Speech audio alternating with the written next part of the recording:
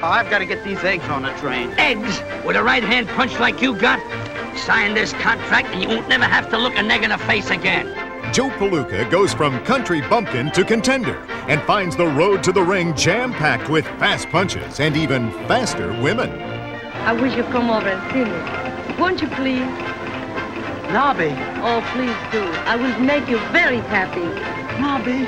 She'll add the feminine touch. She'll add the touch, all right. Jimmy Durante, Lupe Velez, and Stu Erwin stars as Joe Palooka. Oh, boy, it's some fun. I'll have Now that you're so hard, you'll be giving off time signals if you don't stop chasing my Joycey.